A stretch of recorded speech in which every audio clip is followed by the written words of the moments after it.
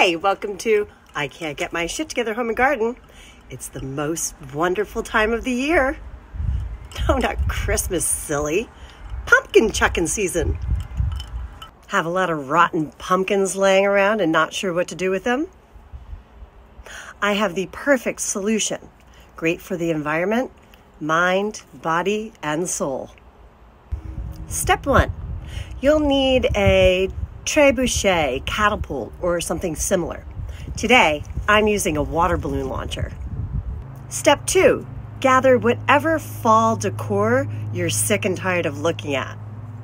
I have this, a pumpkin. I'm even going to take the price tag off. Step three, grab a partner or two. Today, I'm going to enlist the help of my children, if I can find them. I can never start them too young.